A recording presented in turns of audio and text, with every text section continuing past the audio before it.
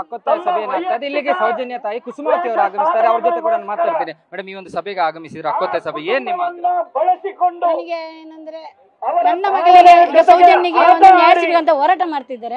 ನಾನು ಅವರ ಪರವಾಗಿ ಬಂದಿಲ್ಲ. ನನ್ನ ಮಗಳ ಪರವಾಗಿ ನಾನು ನ್ಯಾಯ ಕೇಳಲಿಕ್ಕೆ ಬಂದಿದ್ದೇನೆ. ಎಷ್ಟೋ ದೇಶದ ಇಡೀ ಜನಗಳು ಬಂದಿದ್ದಾರೆ. ಎಲ್ಲ ಒಂದು ತಾಯಂದರಿಗೆ ಒಂದೊಂದು ಹೆಣ್ಣು ಮಗು ಒಂದೊಂದು ಮನೆಗೆ ಇದೆ ನನ್ನ ಮಗಳಾಗಿ ಅವರ ಮಗಳಿಗೆ ಅನ್ಯಾಯ ಆಗಬಾರ್ದಂತ ನಂದು ಹೋರಾಟ.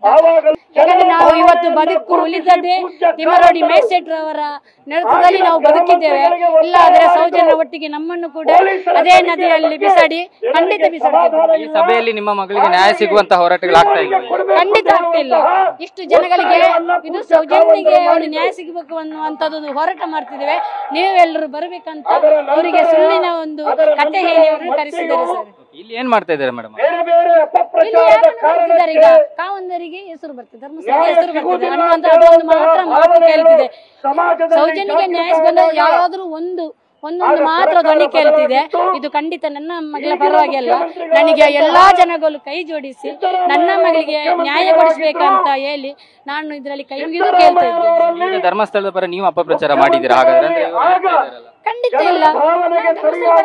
ಅಪಪ್ರಚಾರ ಮಾಡಿದ್ರು ಯಾರು ಅತ್ಯಾಚಾರಿಗಳು ಇದ್ದಾರೋ ಈಗ ಅತ್ಯಾಚಾರಿಗಲ್ಲ ಯಾರ ಮಗಂತ ಹೇಳಿದ್ರೆ ಯಾರ ಮಗಂತ ಹೇಳ್ಬೇಕು?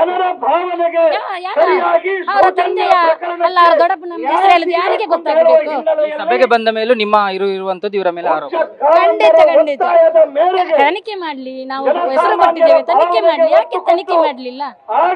ತನಿಖೆ ಮಾಡ್ಲಿ. ಖಂಡಿತ ನ್ಯಾಯ.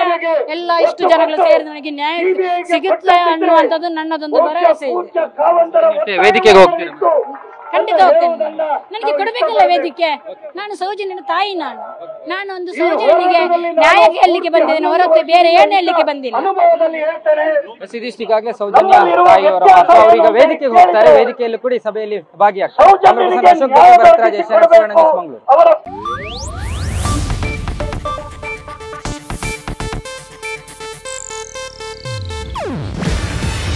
ಇದು ಏಷ್ಯಾನೆಟ್ ನ್ಯೂಸ್ ನೆಟ್ವರ್ಕ್ ಪ್ರಸ್ತುತಿ.